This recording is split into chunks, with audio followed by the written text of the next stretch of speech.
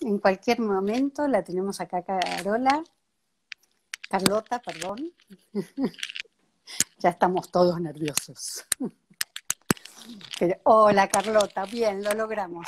Ay, pido disculpas. No, había forma, estaba tontada. No, no te preocupes, todo esto es nuevo, pero bueno, son las cosas que pasan en vivo. Así que bueno, eh, muchísimas gracias por tu tiempo, muchísimas gracias por estar con nosotros. Ya tenemos 20 personas esperándote, eh, con ganas de Muchas escucharte, eh, que nos cuentes de tu obra. Yo hago una breve presentación. Carota, Carlota Beltrame es artista, docente, investigadora y doctora en artes. Entre muchas publicaciones se destaca su manual tucumano de arte contemporáneo. Organizó talleres entre los que se destacan encuentros de producción y análisis de obra para jóvenes artistas del NOA y trabajó con artistas como Guillermo Cuitca, Claudia Fontes, Gustavo Brusone, Eva Gristen. Bueno, tenés una vasta experiencia, tanto como artista como en gestión. Eh, me encantaría que nos cuentes primero de dónde te viene el tema del arte, Carlota. bueno, eh, tengo el principio. Provengo de una familia que siempre le interesó la cultura, el arte, y fui muy estimulada, muy estimulada. Mi mamá me compraba mis blogs para que yo dibujara desde siempre y guardaba mis dibujos y a veces la he pescado mostrándole mis dibujos a sus amigas. y también me, compraba libros o sea, Ella creía que vos eras artista. Sí, sinceramente. sí, sí, sí, claro que sí, totalmente. Y, y en mi casa se compraba, no mucha, pero sí estaba, se colgaban en las paredes obras eh, de verdad, digamos, no reproducciones. Sí había reproducciones, mm. Eh, pero, pero si ella le compraba a una amiga suya artista, este, le compraba piezas y además había en casa tres Gómez Cornet. Había algunas piezas como los Gómez Cornet que eran los más importantes, pero luego por muchos años tuvimos un tapiz de eh, Parejita García Vez, que capaz que no lo conoces, pero es un artista de Salta muy interesante, este, que hacía tapices y que ahora se lo está valorizando mucho. O sea, me, he criado viendo cuadros colgados en las paredes, así que este, para mí es una cosa muy, muy que forma parte de mi historia. Claro, entonces que empezar con la licenciatura de artes para vos fue totalmente natural, ¿no? Totalmente natural. no tuve ninguna duda. Qué bueno, eso es fantástico, es envidiable, ¿eh? te digo. Sí. Eh, realmente.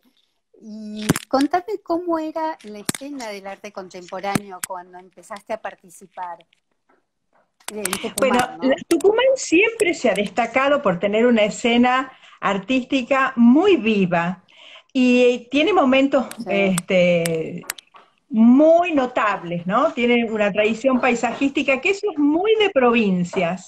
En cualquier provincia siempre se encuentra un buen paisajista en el sentido académico. Este, por supuesto, a mi modo de ver, con algunas confusiones, porque eh, he estudiado y he leído que le atribuyen a ese paisaje que para mí desciende de una tradición francesa, de la escuela de Barbizon, eh, connotaciones eh, telúricas. Y yo la miro ahora y digo, esto de telúrico no tiene nada. Pero sin embargo hay un clima de provincia que siempre se percibe y que vamos a encontrar casi en todas las provincias de la Argentina, creo yo. Y te diría que del mundo. Luego tiene una etapa de que llamamos, claro. Después tenemos una etapa que llamamos de los realismos críticos, antes quiero decir que dentro de esa tradición paisajística hay paisajistas muy interesantes. No quiero decir que todos sean el clásico paisajista de provincia que pinta la llamita y la collita, no. Este, pero aún así es una tradición que siempre vamos a encontrar en, si recorremos cualquier provincia de, de, la Argentina. Y luego tuvimos un momento muy fuerte de lo que se llaman los realismos críticos, entre los cuales se destacan dos personas. Una es eh, Ezequiel Linares y el otro es un español eh, Gerardo Ramos Bucema. Pero también dentro de esa tradición hay muchos artistas interesantes. Y luego una juventud que los siguió. Este, muchos de ellos se exiliaron ya en democracia, buscando mejores horizontes, a veces se fueron con becas y otras veces perseguidos por su sexualidad. Fíjate qué curioso, este, se fueron a Europa. Y los que quedaron acá, como Marco Figueroa, eh, ha ido transitando por muchísimo, tiene un gran recorrido, es un artista contemporáneo de Tucumán, muy fuerte, muy sólido, que perteneció a ese momento de los realismos críticos. Y con él y otra, otra gente de, nuestra generación, él es un poco mayor que yo, pero eh, decidimos un buen día después de la llegada de la democracia, eh, asumir que teníamos que refrescar esta escena. De hecho, no éramos muy conscientes. Esto que yo te digo es una mirada retrospectiva, por supuesto. Sin duda, era una necesidad. Eh, claro, necesitábamos refrescar la escena este, en términos de arte contemporáneo. Y este, comenzamos a trabajar, algunos muy fuertes en la investigación y otros en la producción, y otros en el medio, otros en la gestión, y en general hemos sido artistas, etcétera, como dice Ricardo Baum, es ese artista que hace de todo, ¿no? Que produce su, produce su obra y gestiona su escena. Claro. Claro. Sí, sí, Eso hemos sido por mucho tiempo. Así es. Y bueno, y, pero también, como he dicho en otros, en otros momentos, la Fundación Antorchas y el Fondo Nacional de las Artes han sido instituciones que nos han acompañado en ese proceso porque nosotros estuvimos donde teníamos que estar en el momento preciso, justo cuando estas instituciones buscaban una apertura para la hegemonía de la escena artística porteña, ¿no? Buscaban quebrar eso con sus políticas. Y ahí estábamos nosotros para decir, hola, acá estamos. Así que nunca podríamos haber hecho lo que pudimos, creo, haber hecho, eh, y sí, hacer, perdón, eh, esto de refrescar, de remozar la escena tucumana sin ese acompañamiento institucional. Sí, sí, que fue muy valioso. Fundación Torchas con Nico Castillo como hablábamos ayer, y, la fundación eh, y el fondo, ¿no? y también hubo interesantísimas políticas de, perdón, desde la Facultad de Artes eh, tuvimos interesantísimas políticas. En un momento, por ejemplo, tuvimos un posgrado cuyo profesor emérito era este, nada más y nada menos que Kevin Power. Pero vino gente, vino eh, una discípula de Humberto Eco que trabajaba, en el momento que vino todavía trabajaba con Humberto Eco. Hay libros en donde entre su equipo de colaboradores aparece Claudia Miranda, por decirte, bueno, o, Oscar Steinberg, o sea, un, posgrado muy interesante que se dictaba en mi facultad, en donde vos veías circular eh, cada tanto intelectuales muy buenos, y eso también consolidó una generación como la que es la mía y que se favorecida por todo ese momento. Sí. Bueno, y a partir de eh, vos, de hecho, partiste una beca en España. Sí, tuve una beca en España que me lo dio la Universidad Nacional de Tucumán y que, como te conté, para mí fue iniciática porque tuve, por un lado, la oportunidad de ver arte contemporáneo internacional que me quebró la cabeza. Y por el otro lado, un docente, que no era mi profesor, pero yo me colé, eh, él me acogía con su familia, porque me trataban, yo siempre digo, yo era la mascota de la familia de Sebastián Miralles y Puyol, era muy jovencita, y este, bueno, muy jovencita, era treintañera ya, pero la verdad es que me acogieron con un amor, con un cariño y, con y me iban guiando, él y su esposa, en el en poder consumir lo mejor que brindaba Valencia en ese momento y, España. Me metieron en un ómnibus para que yo visitara una serie de cosas muy puntuales en Madrid, por ejemplo, o en Barcelona. Y también eso es muy hermoso que te suceda, ¿no? Que, haya esa contención. sí. Luego volví, entré en, Anto en, sí, en el taller de barracas, muy afortunadamente. El famoso taller de eh, barracas, sí. Sí, sí, Que yo te digo que caía con mi aguayo y mis trencitas, porque claro, también, también la escena de Buenos Aires, sí, es que la escena de Buenos Aires estaba bullendo, y para mí también era todo nuevo. Teníamos el Centro Cultural Rojas, manejado por Gumier Mayer, que era un mito, este, en aquel momento pude ver la muestra 90, 60, 90, que me, también me partió la cabeza, con artistas que acababan de morir, recuerdo, y que me habían fascinado, como Omar, Esquiliro, o descubrirlo a Feliciano Centurión, por ejemplo, que fue algo maravilloso. y a partir de ahí también tuve otra buena fortuna de haber ido, de ganarme una beca para estudiar en Düsseldorf, en donde fui a la Kunstakademie Düsseldorf, donde, bueno, donde estuvieron, fundada por Paul Klee, y donde enseñó Namjoon Paik, Joseph Beuys, y cuando yo llegué, Gerard Richter, cuando yo llegué todavía estaba, no sé qué docentes había, cuando yo llegué, el director de esa institución era eh, Marcus Lupert. Me acuerdo que una vez por una callecita yo lo seguí lleno de aros, llenos de, pendientes, pero me parecía fascinante. Y, eh, pero también estaban eh, estaba Tony Craig, estaba Yannis Punelli, eh, estoy recordando, estaba Ian Divet, o sea, la verdad es que estaba fascinada de, moverme en ese ambiente. Y a mi modo de ver... Sí. No, no, termina, termina. Quería decir que yo hoy comprendo que me quedaba muy grande porque eh, estaba tan impactada por ese espacio que mi reacción eh, no fue la de aprovecharlo demasiado más que mirándolo, más que contemplándolo, ¿no? Aún así hice piezas que, que hoy tienen alguna importancia. Sí, yo te iba a preguntar, en ese momento, ¿cómo era tu imagen? Bueno, ya este, había pasado por Barracas y Barracas me dio vuelta por completo. En Barracas hice piezas de cuero eh, con pelo. Este, después la polilla Me gustaba que cuentes un poco cómo fue que empezaste con la escultura cocida. Que eso es bastante claro. característico. Empecé con la escultura cocida en España porque mi profesor me, sentía quejarme de mi falta de presupuesto. Imagínate, yo fui con una bequita, bequita chiquitita. Entonces mis recursos para la producción eran limitados. Y él me dijo, bueno, Carlota, pero ¿qué haces vos normalmente? ¿Qué, en tu vida cotidiana, ¿con qué recursos, manualidades que te manejas?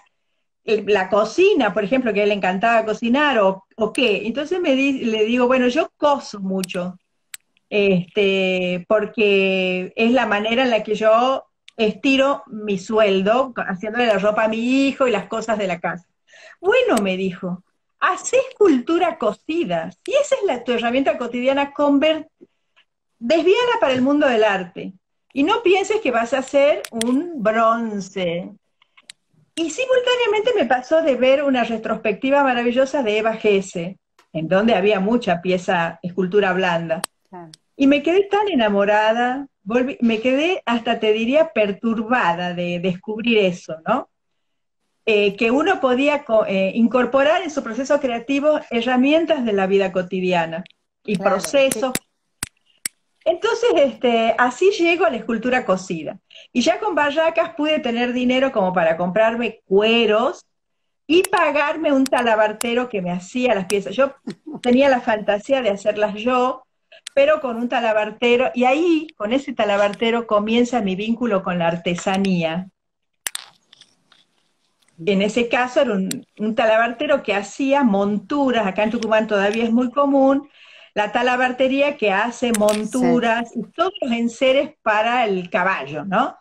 Y este señor es el que empezó, con el cual yo empecé a trabajar, este, aprovechando esa sabiduría de él, este, que era muy interesante. Y ahí empieza mi vínculo con la artesanía, que ahora está totalmente incorporada en mi trabajo. Y que me parece fascinante. ¿Y cuándo comenzaste a reconocerte artista?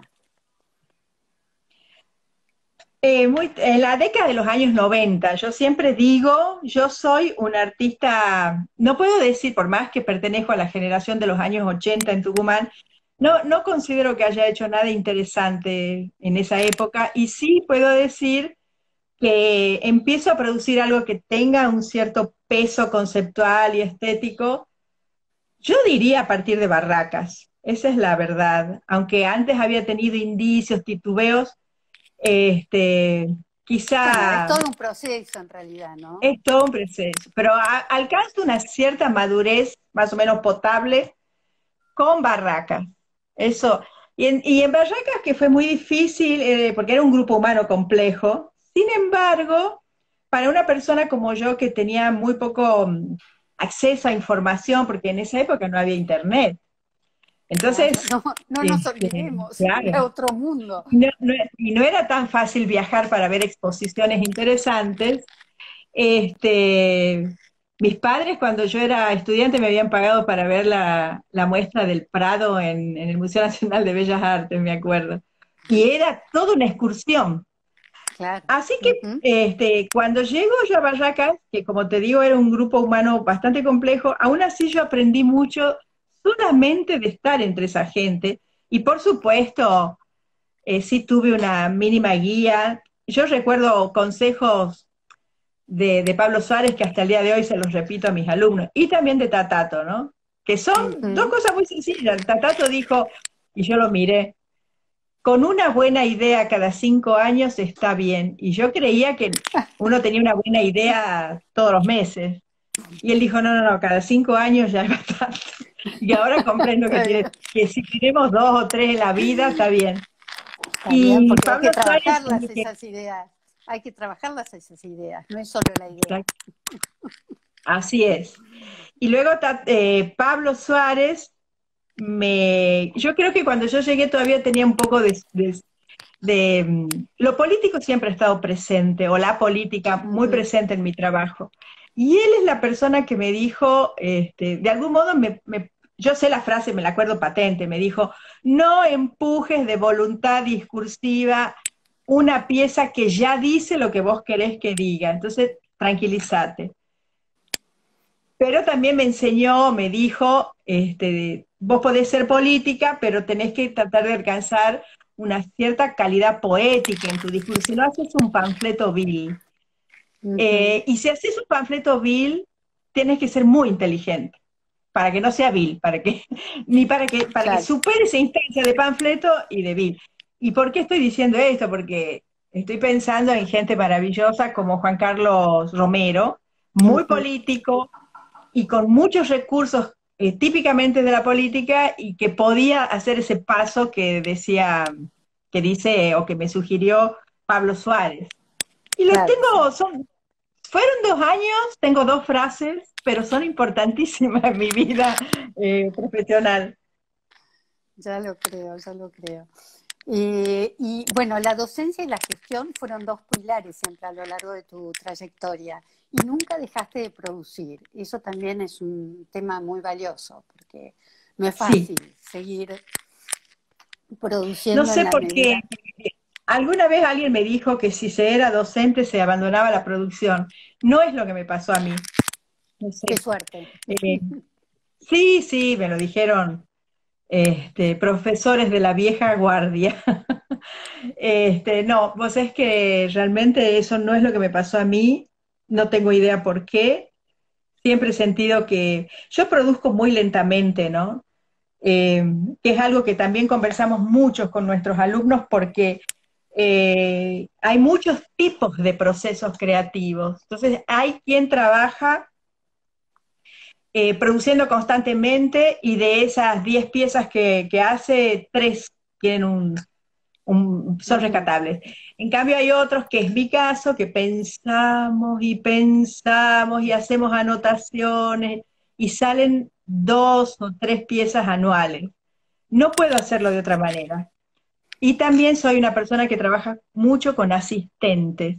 Eso también he aprendido a hacer con los años, porque yo vengo de una tradición en donde había que hacer las cosas con las manos. Y lentamente me fui alejando de ese, ese vínculo con las manos. Ahora, sobre todo, pienso mucho en mi trabajo. Y aprendí que no pasa nada, que está todo bien. Sin duda. Yo voy a ir mostrando algunas obras que me gustaría que nos cuentes. Eh, esta es una obra de tu residencia en Alemania, sí. entendido. Sí, sí. Sí, sí. Esa pieza la hice en Alemania, se llama en alemán Polizei Pistole, que quiere decir pistola de policía.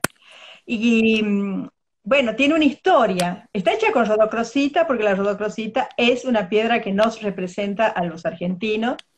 Me interesaba mucho, estos son de los aprendizajes de Pablo Suárez, de sumar como capas de sentido, considerando al, eh, a la materia como un significante, ¿no? Eso también lo aprendí de Pablo. Eh, entonces yo me llevé esta piedra y la trabajé en eh, Alemania y me llevé el molde de la pistola, que es una pistola de un policía de verdad, tucumano, al quien yo descara, al cual, perdón, yo descaradamente le pedí que me prestara su pistola, me la prestó, le sacó las balas, me la llevé a mi casa, le hice un molde al otro día, se la devolví, una cosa de loco. Y era, era otro momento. No sé, una cosa de loco. Entonces, este, y yo hice, tomé esta decisión porque recuerdo con mucho dolor el momento en el que sube Bussi, votado en democracia, horrible, en la década de los 90, lo que muestra la fractura de la sociedad tucumana, que es muy profunda, después de la dictadura, y él recibió a unos, eh, a los periodistas con una pistola eh, puesta sobre su escritorio, esa foto dio vuelta al mundo. Entonces yo me iba a Alemania y traté de juntar eh, también el pasado de Alemania, muy que todos conocemos, que tiene que ver con la Segunda Guerra y el nazismo, y la frase famosa de Goebbels que dice, cuando escucho la palabra cultura, llevo mi mano a la pistola. Entonces, quise juntar esas dos cosas haciendo esta pistola de, de Rodocrosita, que ahora pertenece a la colección de, de Gustavo Brusone, y a veces aparece por ahí en algún libro, qué sé yo. yo le, tengo cariño. Esta pieza también hice en Alemania. bueno, seguí dialogando. Sí, sí, este es de mármol de Carrara. Yo seguí dialogando con la violencia. Hay una tercera pieza que ahí no aparece, que es una gorra de militar de onix verde, y que tiene la lucecita interior. Porque son tres piezas que yo hice en Alemania, son mis tres piezas alemanas, en las que yo dialogo con la violencia, pensando que yo provenía de una provincia en la que la violencia había estado muy presente e iba a vivir por un tiempo en un país en donde la violencia formaba parte, la violencia hiper extrema, de su pasado. Entonces hice esas tres piezas en el taller de escultura, tallándolas bajo la nieve, me acuerdo y cargándolas por toda Europa, pesadísimas, pero bueno, llegaron acá. Y ahora pertenece a la colección del Museo Nacional de Bellas Artes. El pedestal, por supuesto, lo hice acá, ¿no? En Argentina. Lo único que tallé allá, que era muy fácil este, esta pieza. Sí, y trasladar este, después. Sí, había que trasladar, y la trasladé, increíble, pero bueno. Bueno, eh, acá tenemos otra pieza que es el premio del eh, Salón Nacional. Sí. Esta pieza la fui haciendo por año. Comenzó con un reto, entre comillas, de un joven gestor y curador tucumano que se llama Juan Grande, que me vino a invitar a casa para exponer en la casa de, de unos desaparecidos de la familia entera había desaparecido, la casa coronel. Y totalmente semi en ruinas, te diría, la casa. Y yo acepté el reto y dije, bueno, que tengo una habitación que se cae a pedazos. Y no sé, él había visto al entrar en mi casa una pieza de Randa. Entonces me dice, me encantaría que trabajaras con Randa. No, ninguna de ellas, era otra obra. Esta obra la empiezo a hacer para esa muestra. Ah, Esta pieza que estamos viendo me parece que es este Montoneros, este, el logo de Montoneros. Eh, y porque, ¿qué hice? Pensando en la historia de la familia desaparecida, y que la estaban administrando expresos políticos y sobrevivientes de la dictadura, quise poner, empezar a poner logos de, este, de partidos políticos. Y están enmarcados en plata por dos razones, porque la palabra argentina quiere decir plata, y porque me gustaba el contraste con la casa semi-derruida en donde la pieza se exhibió por primera vez, pero eran muy poquitas randas en ese momento. Y continué haciendo y, recorriendo todo lo que yo pude alcanzar, pero siempre aparecen más cosas vinculadas a la vida política nuestra, ¿no? Sin embargo, bueno, por ejemplo, el final de la carta de Rodolfo Walsh, que me había impactado tanto cuando era joven, la famosa frase de John William Cook sobre el peronismo, panfletos que reproduje como Libertad eh, a Tosco. Este, la verdad es que me hubiese encantado poner un párrafo de la declaración de cuando, cuando mm, fue la reforma de la universidad en el 18, que tiene unos momentos casi te diría poéticos, pero solamente puse la más famosa, que ya en este momento no me acuerdo, los derechos que nos faltan son las libertades, o las libertades que nos faltan, una frase muy famosa que en este momento no estoy recordando bien, de la reforma del 18, porque como soy universitaria también quise rendir un, homenaje a, esa tradición que me, digamos, que, por la que estoy atravesada, ¿no? La vida universitaria, que, que hasta el día de hoy le debo tanto, porque, y bueno, y defiendo la universidad pública, el aborto, fui ayornando eso, hasta que se ganó el premio, y cuando se ganó el premio eh, fue muy curioso porque yo tenía, en, se estaban enmarcando ocho piecitas más. Entonces yo pedí permiso de, completarlas y me aceptaron. O sea, sí, porque son un total de 28 piezas. Son en total de 28 piezas, pero cuando se gana el premio creo que eran 21 o, o 22 como mucho, y yo cuando terminé de marcar, porque yo jamás me imaginé que me iba a ganar un premio. Entonces la mandé. Vos no te crees mucho. Sí. No te crees mucho. La mandé y para. Carlota. bueno, ganó el premio y entonces yo dije, bueno, eh, puedo sumarles estas que estaban en, en proceso, sí, por supuesto, y allá partieron. Este, y bueno, lo que trato de narrar son, por lo menos, la historia de la política argentina del último siglo XX hasta ahora. Momentos que incluyen, el, por supuesto, Alfonsín, porque, porque para mí es un emblema del regreso a la democracia y yo lo viví realmente con una gran alegría. Siempre digo, una vez alguien dijo en un curso que yo estaba tomando, un curso más o menos reciente sobre sobre, sobre este, Espinosa. La primavera de los pueblos no existe. Entonces yo dije, no, sí existe la primavera de los pueblos. Yo viví la primavera, el regreso a la democracia, y viví esa ilusión, esa alegría que nunca más volví a repetir. Ah, se habrá frustrado en muchas cosas, lo sé, pero hay que vivir ese momento, que lo recuerdo también, fue una cosa increíble. Entonces quise hacer un homenaje a ese momento y lo puse a Alfonsín, por supuesto. Los partidos, el, partido intransigente donde yo milité, partidos de mis, en, que, en los que yo no milité, pero que militaban mis amigos.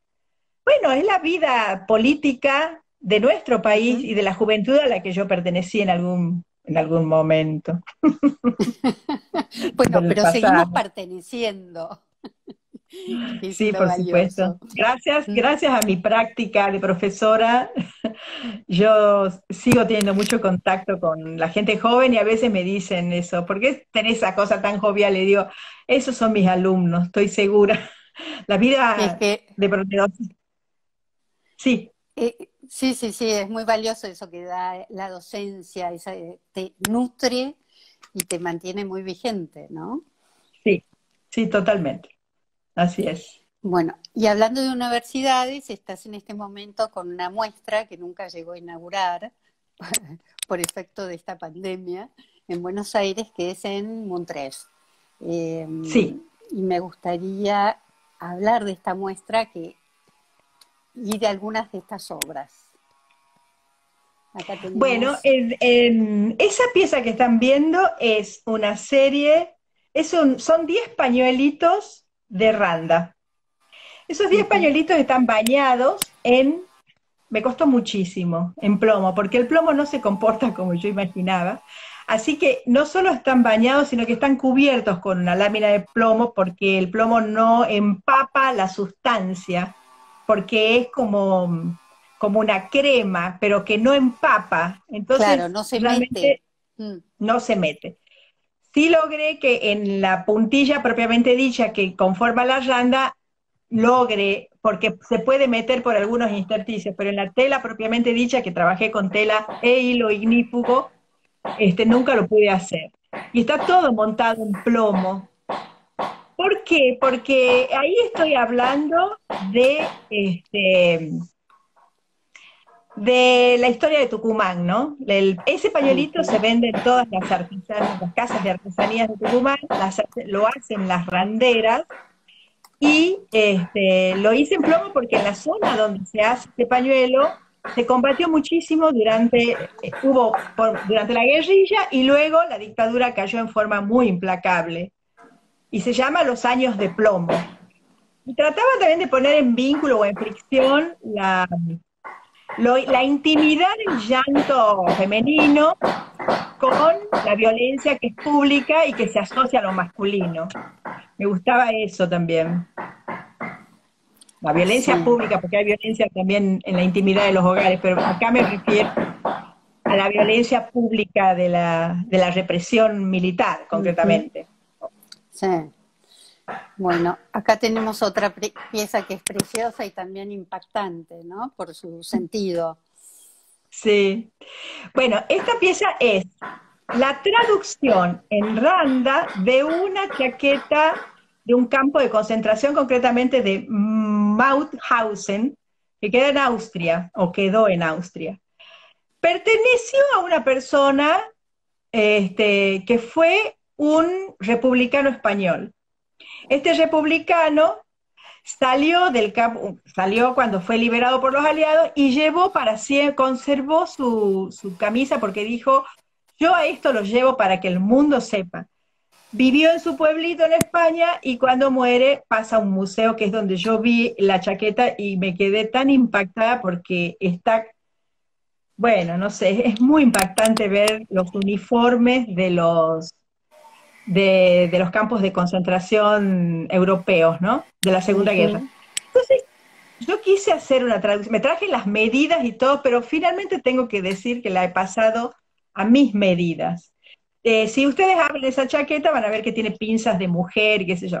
Quise hacerlo así porque quise poner en diálogo también mi propia historia como tucumana y de haber vivido y conocido lo que fue, fue los momentos de la dictadura. Y de nuevo, por eso el, el número, y tiene la mitad de la estrella de David, que era como se ponía los que eran no judíos, comunistas, militantes de no sé qué verdura, bueno, todo lo que fuera, lo que no fueran judíos le ponían eso, o que fueran mitad judío y mitad de otra religión o, lo que, o agnóstico.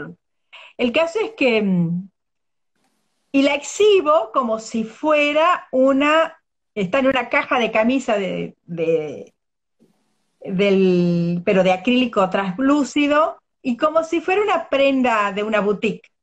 Pero vos te acercás y ves esa pieza, y se llama el olvido, ¿no? En realidad tendría que decir, no hay que olvidarse nunca que esto ha sucedido, pero bueno, le puse el olvido porque la memoria está hecha de olvido. Sí, y acá tenemos eh, otra que es como un gran camino. Sí. Sí, como un sendero. Este sendero, que se llama tránsito pesado, trato de, está hecha con baldosas de vidrio.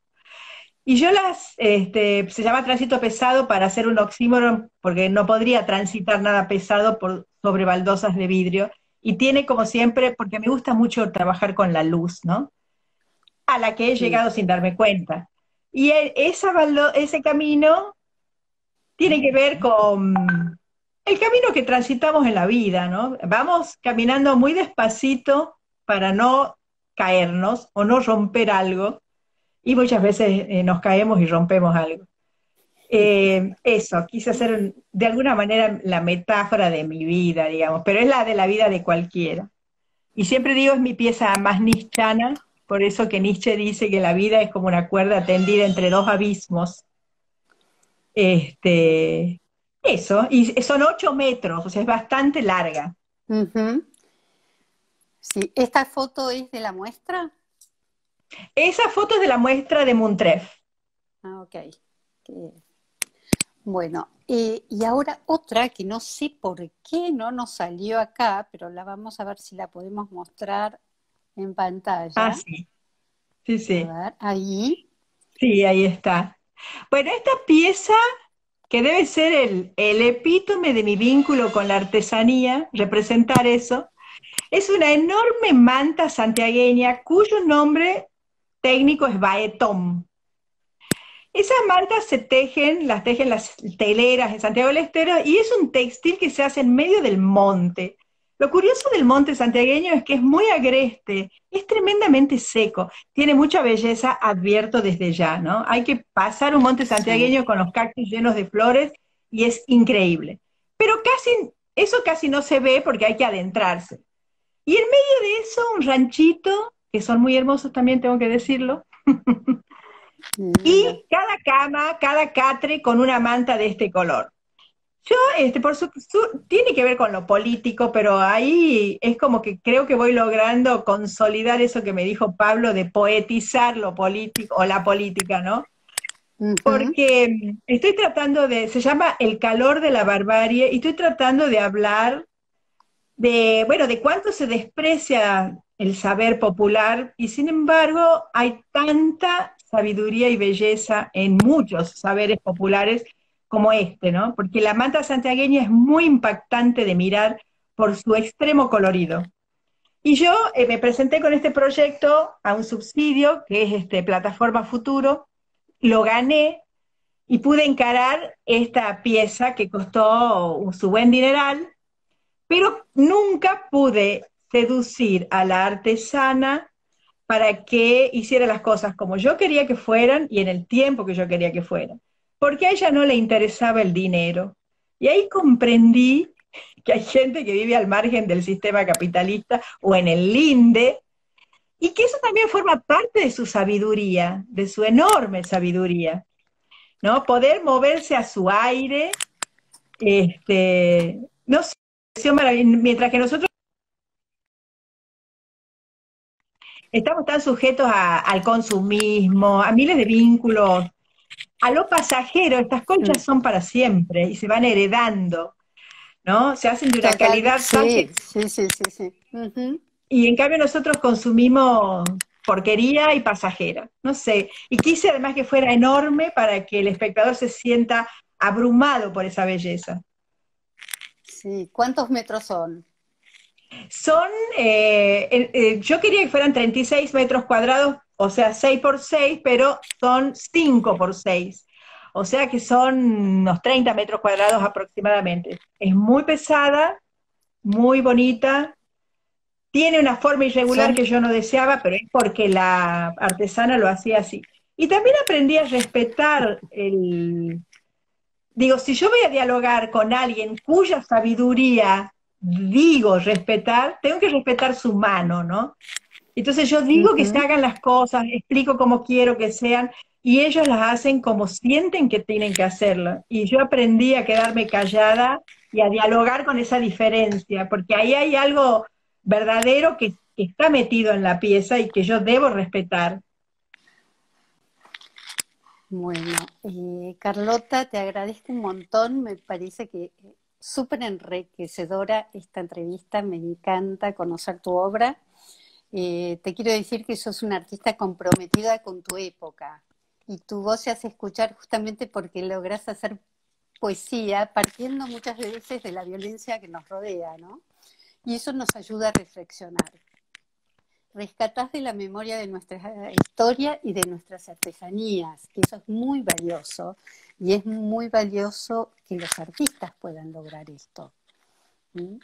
Eh, te agradezco un montón participar en este espacio, está pensando justamente para conocer los procesos creativos de los artistas. bueno, yo te agradezco mucho y sabes que te agradezco tu paciencia, porque a todos les tengo que pedir que me tengan un poquito de paciencia. No, no, no, nos encanta tenerte paciencia.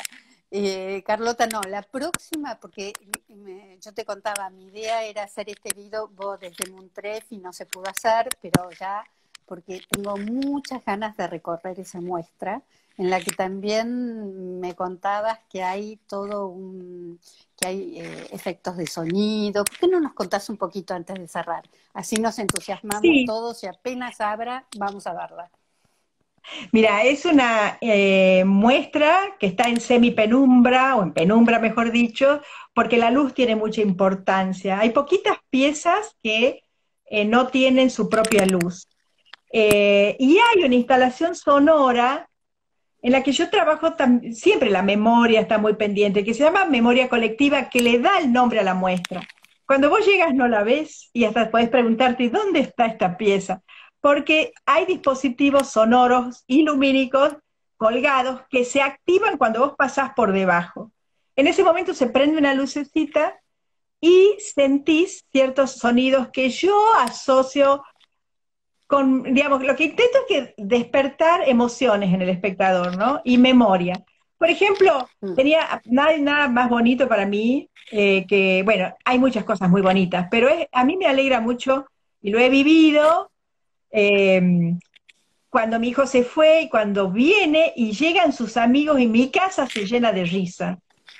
Y yo digo, hace tanto que no se llena de risas esta casa.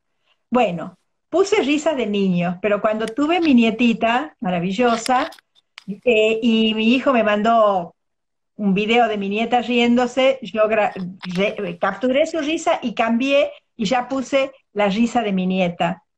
Luego hay bombos peronistas, que creo que en la memoria de un argentino, el bombo de la marcha en general, pero de la marcha peronista, que, el bombo tiene origen ahí, que acompaña las marchas, me parece que es algo que nos, seamos o no peronistas, está en la memoria de un argentino, la memoria colectiva. Totalmente. Luego hay, por supuesto, cumbia, la cumbia que se siente a lo lejos, porque yo he vivido en un pueblo con esta familia ilustrada eh, que tenía un contacto eh, temeroso con la realidad del pueblo y a veces hasta prejuicioso, y yo sentía desde mi casa a lo lejos la música popular. Mi padre era un, aficionado a la música clásica y casi música popular en mi casa nunca jamás.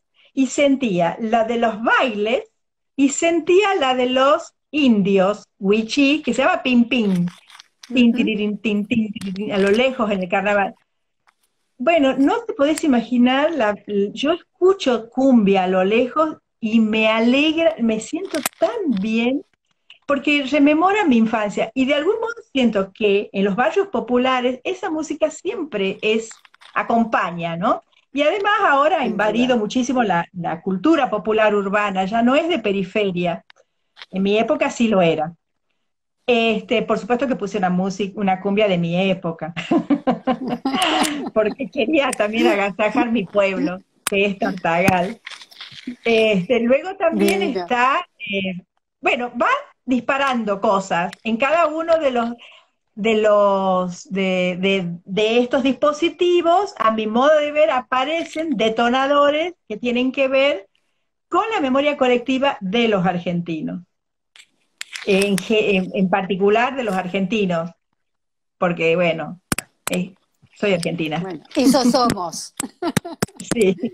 Bueno, de nuevo Carlota, muchísimas gracias, fue un lujo tenerte y, bueno, seguimos en contacto. Y gracias a todos. Muchísimas gracias a vos y a tus colaboradoras que también han tenido mucha paciencia conmigo. bueno, y gracias a todos los que estuvieron participando. Chao, chao. Un beso muy grande. Hasta luego.